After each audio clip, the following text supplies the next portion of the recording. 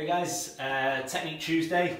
What we're going to look at today is um, a kind of a dynamic hip mobility as well as a bit of a hip stability and strength drill, mainly focusing on internal external rotation uh, as well as obviously a couple of other challenges that we can incorporate, um, focusing around posture and core as well. So the movement we're going to look at is basically a tall kneeling step up, okay? So you can see all we've got is uh, some plates, okay, stacked on top of each other. You can use a step, a box, etc.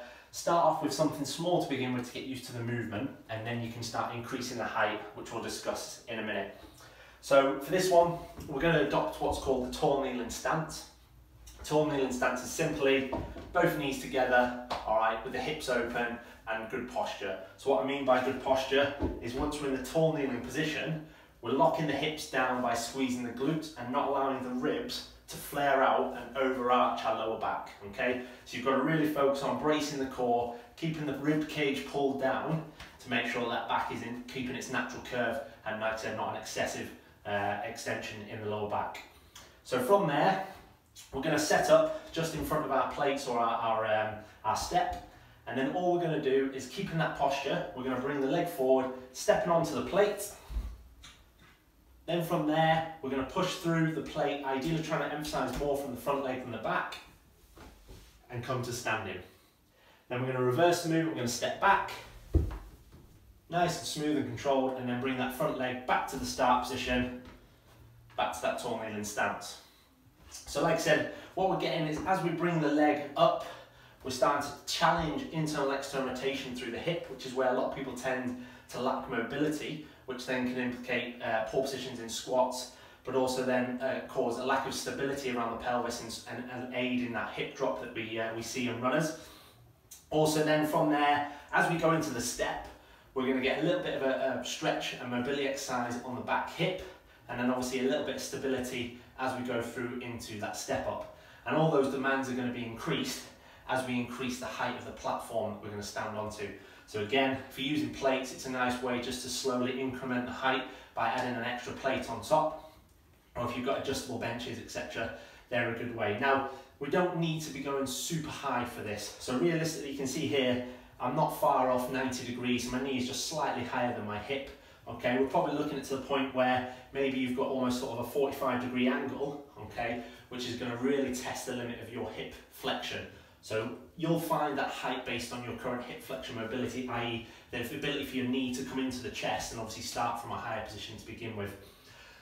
So that's one way we can increase the challenge is by increasing the height of the platform we stand onto. But remember, we need to make sure we keep that posture and that stability. So as we step, we're trying not to excessively lean over or rotate from one side to the other. So we're really relying on stabilizing that pelvis as we bring that leg through. That's the priority for this exercise, not the height. So own that first before you do any progressions. Equally then we must be able to demonstrate that strength and stability as we go into the step up.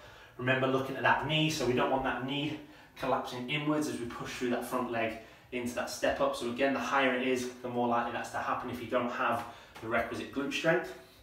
And then also we get a bit of coordination as well as we come to step back off the platform and stepping backwards, we can't see where that back leg's going. So again, there's a little bit of coordination and balance in there as well. So it's a really good hip exercise to incorporate into your strength routines.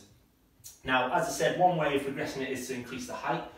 The other way is to add a bit more of a posture and core stability demand to the exercise and adding in the overhead reach. So we're starting from the same tall kneeling stance, but this time we're going to add an overhead reach, so simply just bringing the arms overhead, again, really focusing on that posture, so we don't have that rib flare as we reach overhead. So again, if you're lacking good range of motion overhead, you may not be quite there for this, uh, this progression.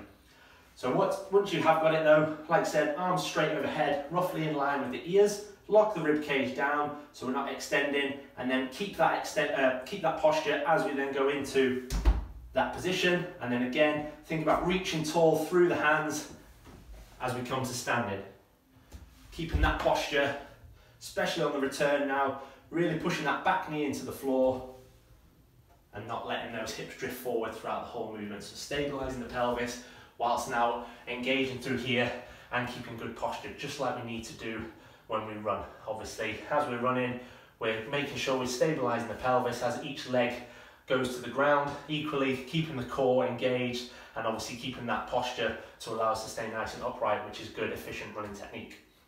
So have a go at that, like I said, start off small, build it up to something that's challenging, and you're looking for something like six to eight reps per leg, roughly a minute, minute and a half between sets, and three or four sets for this exercise. If you've got some more sort of complex single leg exercises, this can be just a good warm up. So again, just a dynamic warm up for the hips in terms of mobility and stability. If you're relatively new to strength training, this could be one of your main single leg exercises in the beginning, just to build up some strength and confidence and integrating the core and like I said, posture into movement before going on to things like split squats, step ups and all that sort of good stuff.